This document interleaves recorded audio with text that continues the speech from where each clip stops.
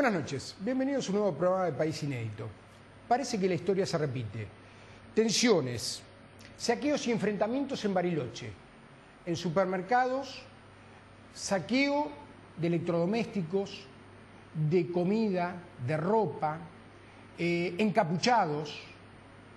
Esta historia ya la vivimos, sin embargo se vuelve a repetir. Los funcionarios en turno, como la ministra Garré, dice que la inseguridad es una sensación. Parece que esta sensación se ha vuelto una realidad.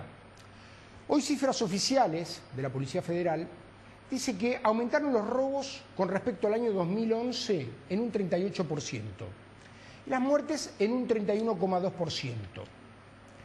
Ahora, ¿cómo nos quieren pasar, hacer pasar a los argentinos? Como si fuéramos tontos, nos llevan de las narices. El ministro Alac, ministro de Justicia, dice a su vez, enfrenta a la justicia por la ley de medios. El señor Randazzo, usted sabrá perfectamente que hay aumentos en boletos de tren, de colectivo y en los peajes, un 43%, que era necesario un 500% de aumento. Sin embargo, el gobierno permanentemente niega la inflación. Según el INDEC, tenemos una inflación del 9%. La realidad tenemos entre un 25 y un 28%. ¿Puede ser posible que nos mientan tanto? ¿Puede ser posible que la gente no reaccione? ¿O vamos a vivir la misma historia del 2001? Ya estamos cansados los argentinos que permanentemente pasen los ciclos y se repiten las historias. Hoy vamos a tener un invitado que es el hijo del presidente Arturo Ilía, Leandro Ilía.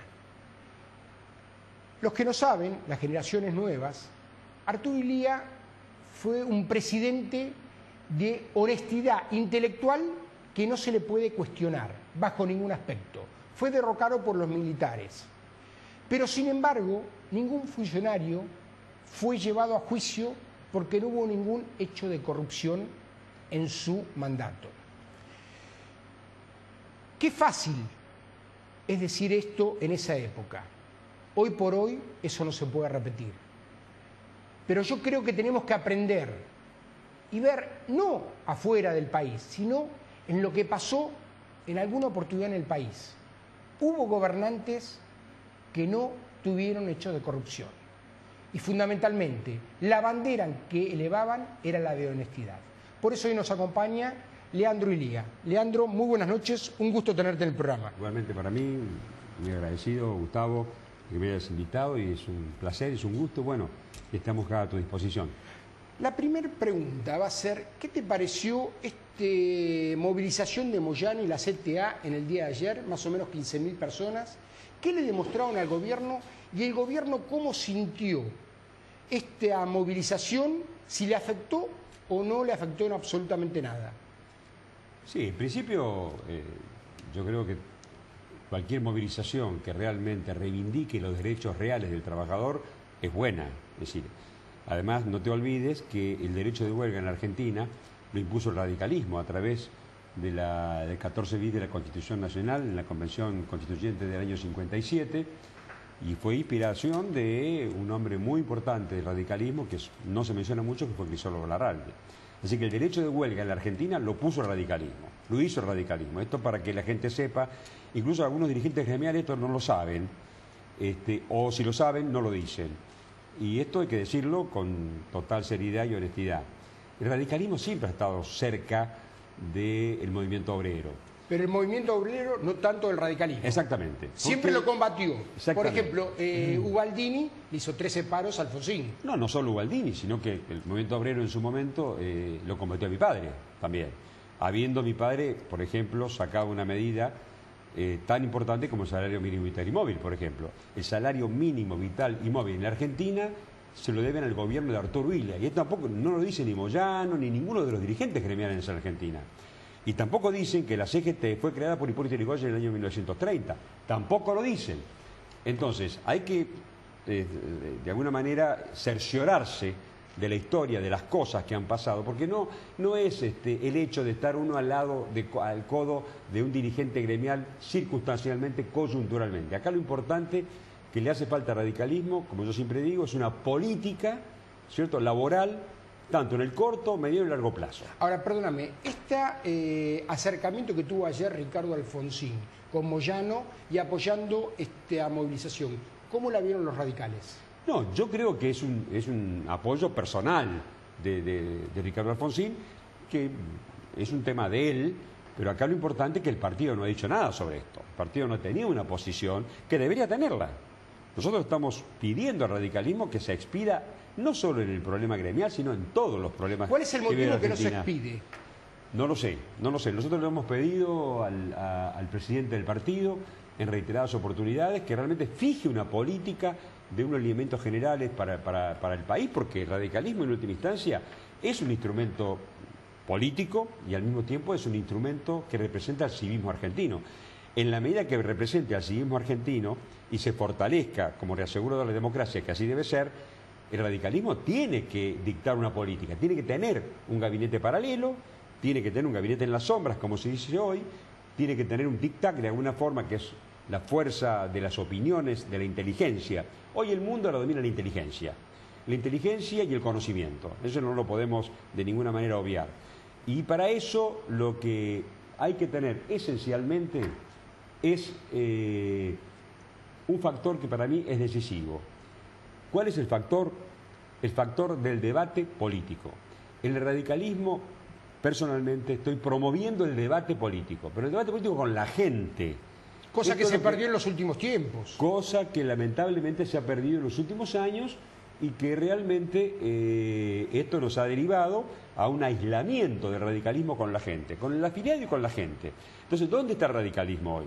Lo que nosotros estamos haciendo es una cruzada en el radicalismo, intentando hacer para restablecer, para reconstituir, para de alguna manera reformular los principios esenciales por lo que le dio vida al radicalismo, que es el reaseguro de la democracia en este país. Es el único partido que puede reasegurar la democracia. Eh, Leandro, comentame cómo se puede recuperar en una idiosincrasia como la Argentina, que lo tuvo en el gobierno de tu padre, eh, la honestidad, la no corrupción, que ningún funcionario haya sido víctima de algún desfasaje. ¿Cómo se logra eso? Con el ejemplo. El ejemplo. El ejemplo y la lucha. El ejemplo y la lucha. Y la lucha continuada. Por eso siempre yo digo que con mis potenciales adversarios políticos, diríamos, yo siempre voy a poner primero que, eh, que, el otro, voy a poner mi prontuario y mi currículum. Y le voy a pedir al otro que ponga también su prontuario y su currículum. Porque uno tiene una historia de vida en este país, más allá de mi padre, que evidentemente ya está, eh, ya está en la historia, independientemente de los hijos, sí, pero fue un ejemplo para las eh, nuevas generaciones. Es un ejemplo, es un ejemplo, es no fue, sino que es, es, un ejemplo para las nuevas y para las futuras este, eh, generaciones. Y lo importante es que lean lo que hizo Arturo Villa, que lean cómo, cómo se puede el país este, con, con, con la fortaleza intelectual, como decías vos de alguna manera recién, y la convicción moral esencial de que uno, bueno, tiene que, ante las presiones tanto internacionales como nacionales, tiene que poner en su justo medio. Sí, pero perdóname, tampoco hay que echar la culpa a todo lo de afuera, porque los funcionarios actuales, la corrupción que hay hoy en el país es nunca vista. Nunca vista, nunca, nunca se vio una cosa igual. Este es un tema de la descomposición social y de la falta de la dirigencia, de la calidad de la dirigencia. Por eso lo que nosotros estamos tratando de decir y expresar este, y lo hacemos desde de lo más este, humildemente, este, de una batalla realmente que tenemos que dar dentro de la Unión Cívica Radical, porque creemos que la Unión Cívica Radical sigue siendo un instrumento muy importante para el país, para el país, no solo para la Unión Cívica Radical, para el país como, como un antídoto ante el totalitarismo, ante el avasallamiento, ante la improvisación. Lo que no se puede hacer en el país es improvisar. Y acá estamos acostumbrados en, estos últimos 20 años a improvisar. Es Todo el día se improvisa. Es el día, es el día a día. Esto es lo que no debe pasar. Acá hay que planificar. El radicalismo, y yo no lo he escuchado de los dirigentes nuestros del partido, que hablen de la planificación. Tenemos que estudiar, acá hay que planificar como planifican los países grandes del mundo. Ahora, perdóname, ¿por qué no se No puede- copiar, ¿eh? planificar nosotros. Está bien. ¿Por qué no se puede planificar? ¿Por qué no se puede ver otra realidad de país y otra realidad los dirigentes en turno que están gobernando el país? Porque los dirigentes no están a la altura de las circunstancias. La gente Porque hay- sí. La gente sí. La gente sí, además la gente está esperando del dirigente. Por eso la crisis dirigencial que hay. Es decir, la crisis dirigencial en todos los aspectos. En el aspecto laboral, la crisis de los dirigentes gremiales, de los dirigentes empresarios, de los dirigentes políticos que estamos de alguna manera también este, avasallados por las ONG, por el parte por el periodismo. Es decir, el partido político se está diluyendo. No solo el radicalismo, le pasa al peronismo también. ¿no? Entonces hay que volver a este criterio que yo decía y fundamentalmente estamos buscando, readecuar la identidad del partido. Para, para, Que para es el de la sociedad, que es esencial. Sin identidad el partido no puede funcionar, Ah. y menos aún sin representatividad. Ahora, ¿cómo pensás que la sociedad está tomando eh, estos discursos que dicen los ministros, por ejemplo Garré, que es eh, la inseguridad es una sensación y hoy salieron cifras oficiales de la Policía Federal que los robos aumentaron un 38%, las muertes un 31% con respecto al 2011. Bueno, esta- estos son los productos de, las- de las políticas, de- que como decíamos recién, de la improvisación, de la marginación, de la pobreza, de la miseria. eh, es decir, esto, esto realmente eh, no sucedía antes, no sucedía en el gobierno de, de Arturo Illia esto, por ejemplo. Eh, la, la- la- la pobreza en el gobierno de Arturo Illia era del 6%, bajando. La inflación era del 26%, bajando. Y habíamos pagado deuda externa. Este, el país estaba saliendo adelante. no, perdona, 26% anual. Anual, anual, Eh, anual. Aclaremos porque Anual, la gente no anual. está acostumbrada a que No, no, no, estamos a un 26, 26 está bien. mensual. Sí, sí, nosotros estamos casi mensual, sí, sí, sí. Y creciendo, Sí. lamentablemente. Esta es una de las grandes distorsiones de la política argentina. Entonces, acá estamos creando más pobres, más pobres, somos una fábrica de pobres, de marginación, a pesar de que lo quieren cubrir con el subsidio. El subsidio es un instrumento transitorio de la política Perdóname, económica. pero el gobierno está dando un doble discurso.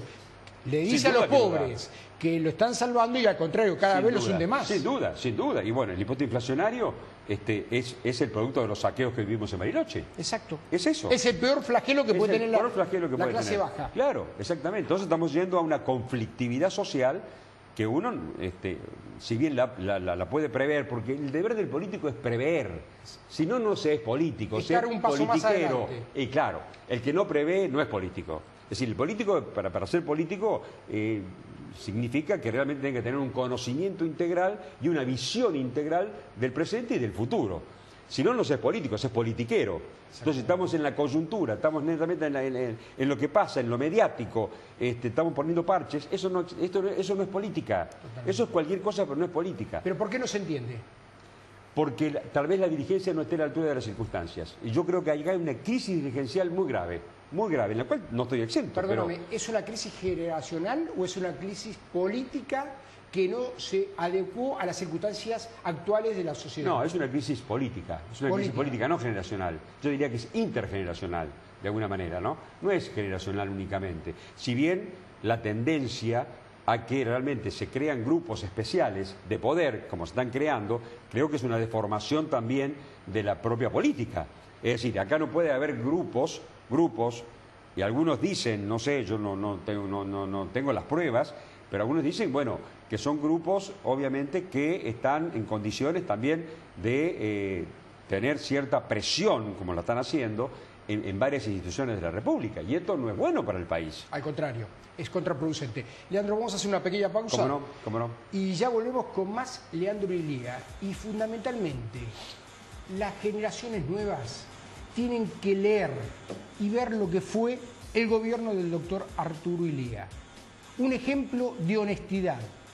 Y usted dirá, qué reiterativo, pero a través de esa honestidad los países salen y fundamentalmente aprendiendo de la gente mayor. A la gente mayor se la respeta, no como pasa actualmente que lamentablemente se los trata como un trapo de basura. Una pausa y ya volvemos.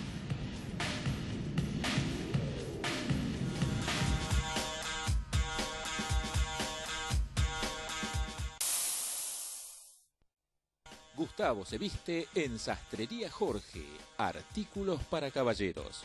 Avenida Maipú 2446 Olivos, teléfono 4794-8869.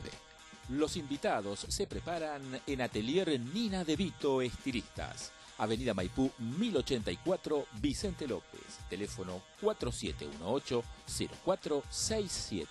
Va a Soho Hotel, ubicado en el exclusivo y ecléctico barrio de Palermo Soho se destaca por su diseño único, una mezcla perfecta de arte y modernidad, con amplias y luminosas habitaciones y un servicio personalizado. En Basso Hotel, su estadía será inolvidable. La vía pública, todos los caminos conducen a Publiafiches, impresión y fijación de afiches, desde Villa Ballester hacia todo el país. Publiafiches 4768 3381. Llámenos y usted también anuncie así.